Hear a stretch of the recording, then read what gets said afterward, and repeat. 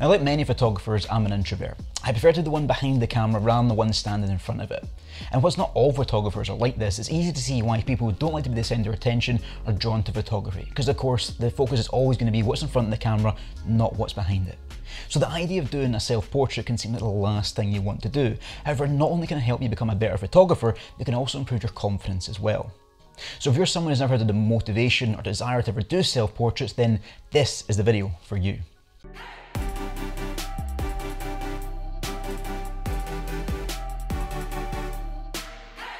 Now, in this day of social media, there are more pictures of us than ever out there in the world for everyone to see. And even if you're someone who doesn't like getting their picture taken, it's hard to go to any sort of social event with people there to not have someone snapping away pictures on their phone, which you may end up getting tagged in later on in social media, whether you like them or not. And of course, unless you're a supremely confident person, we have some things about ourselves we don't like. For me, I have this thing in my nose I can't help spotting photographs, and sometimes I always see my eyes, one eye looks a bit more closed than another. And I actually feel really lucky that when I was a teenager, there wasn't social media around because I just kind of missed that point because I was self conscious enough as it was then, rather than having to worry of a picture of myself I didn't like ending up on the internet for the whole school to see.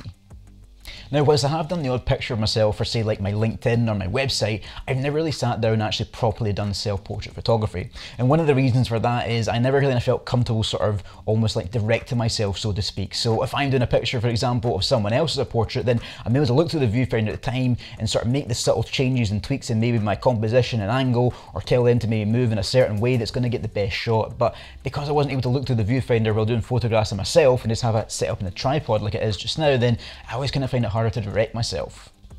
And coupled with my introverted nature, self-portrait photography had never really appealed to me. I've always thought that one day it'd be really good to try even just as an experiment. And after getting in front of the camera for this YouTube channel, I felt more ready than ever to make that leap.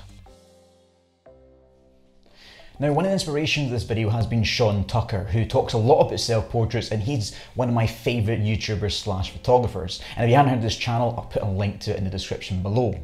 Not only just for this video, but even for this channel in itself, one thing he does is he talks a lot about the kind of deeper meaning behind photography rather than just the sort of technical aspects of how to work a camera. And that's something I always want to do with this channel and I've started doing with my discussions and videos on creativity. However, I never knew if there was an audience out there for it, but seeing his channel really showed me that there is actually an appetite out there somewhat for that type of content. Now the video that Sean Tucker did recently was more on the healing power of self-portraits and if you watch this channel regularly you know that he's going through some sort of personal issues at the moment that I won't go into in detail here. The point is, is I'm not in a similar situation and for me doing self-portrait photography was just more of an experiment. I wanted to see how it would change my confidence and my perspective of doing that type of photography. Now, since this wasn't exactly my forte, there was a few things I did when planning this out. The first thing is, is I made sure to keep things nice and simple. I shot indoors and I used a combination of both natural light and the soft light I have as well. I wasn't going to go outside where the weather and lighting could potentially change just like that and create a bit more challenges for myself. In addition, I wasn't going to add in any sort of props or things like that. For example, I wasn't going to stand there with a lens up to my face or as common in portrait photography to try and tell some sort of story of who that person is. I wasn't going to try and do the same thing with myself because I felt that's maybe just again complicating things a bit too much for my first attempt. Now, whilst I never went overboard, I did make some effort to make myself look good. By that, what I mean is that I did my hair, brushed my teeth, ironed my clothes, just sort of on par as I would if I was going out to meet friends for coffee. I didn't see the point in sort of shooting myself first thing in the morning when I haven't even had a shower yet, because I thought I was just going to set myself up to not like the photographs it produced.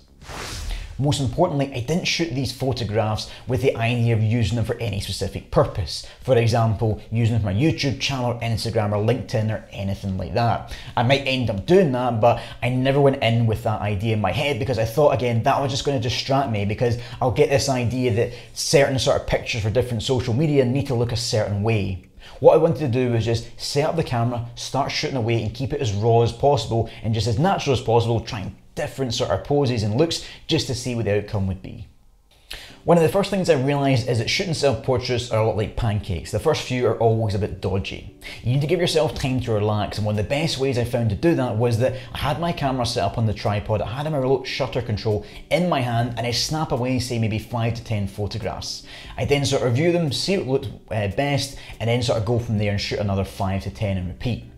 I found that it took me a while to end up relaxing the front of the camera, but the more I relaxed, the more the results ended up improving. In the end, everyone's got a good side, and it can take you a bit of time to find out what that side might be. For me, I actually found that some of the best photographs, and I ended up just sort of fidgeting myself, sort of moving my hair around, things like that, and I ended up producing some of the most interesting results. Black and white edits I found to be your friend when editing self-portraits. The reason for this is of course that it can take away any sort of the sort of paleness in your skin and some blemishes are not as noticeable when you put a black and white filter on it. However, I was also careful not to over-process the photographs as well. For me, I didn't see the point and ended up what you might normally do in portrait photography is maybe like sharpen up the eyes and take away the odd blemish. I wasn't going to do anything like that. For me, what I did was that I did sort of two different edits. I did a sort of just a soft color one, which is very sort of lightly touched up in just terms of the exposure, the lens correction in Photoshop. And then I did a sort of black and white filter that actually had a bit of punch and actually shows a lot of detail. Now, I quite like the outcome of that. Of course, that might not be for everyone. The point is, if you are doing it for yourself, what I just say is again, keep it simple. Do a couple of different edits, but don't do any more than that. And don't go into sort of crazy in-depth and start taking hours and hours editing little tiny little details in the photograph itself. Do a couple of different versions, no more than that, and see which one you like most. Another thing I realised is I actually enjoyed it a lot more than I thought I would. Like I said at the beginning of this video, I'm not someone that's eager to get in front of the camera or likes attention on myself, but I actually found that the more I did it, the more I enjoyed it. Not just I end up relaxing, but I end up actually quite liking the idea of trying out stupid things. And that's what led me to doing sort of silly things of sort of laughing, holding my hand over my eye, things like that. And even if some of them looked a bit stupid, a bit daft, then, well, who cares, you know? I was willing to just give it a go, and I got to that point of being that comfortable just to try just about anything.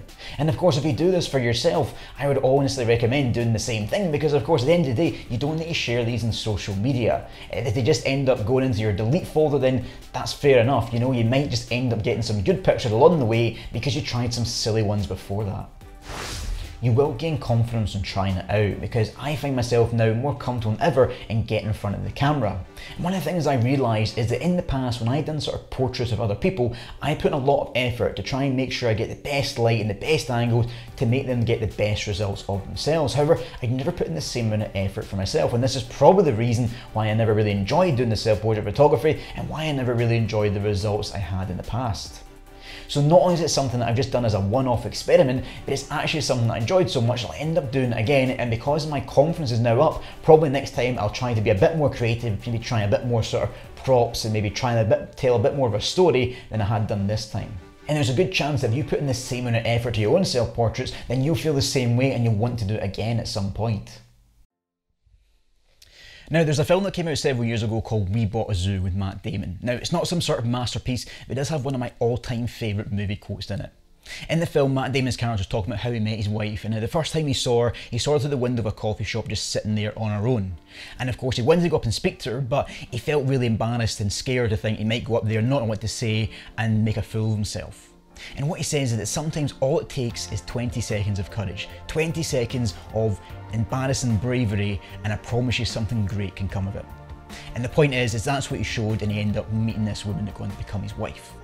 Now, of course, the point is here is that sometimes when we do things, it's that first step that can seem most daunting. But if you can just push through that, if you can just show that 20 seconds of courage, then suddenly, once you get going, the rest of it doesn't seem so bad. And what I realised when doing self-portraits is I'd never properly taken that first step when it came to photographing myself. I'd always sort of rushed through and just did enough to get the pictures for whatever purpose I wanted to use those photographs for, rather than taking my time over it. I'd never shown that 20 seconds of bravery, so to speak, to really sit there, plan out and take it seriously, and then do some sort of silly poses, even if it just felt stupid at the time, just so my photographs would develop so it got to a point there were some good results there. In the end, photography isn't just about sharing every photograph you take for the world to see. However, I think it's important to try this type of photography at least for yourself to see. I spoke about in a previous video that one of the best ways you increase your confidence as a photographer is just to put some of your best work on the wall, even if no one else sees it but you. Now we can't always look our best in every single shot, but if you can just be happy with some results, then that's better than none. And I promise you that if you put the same effort into doing self-portrait photography as say you have for photographing other people, then you will end up with some results that you're happy with.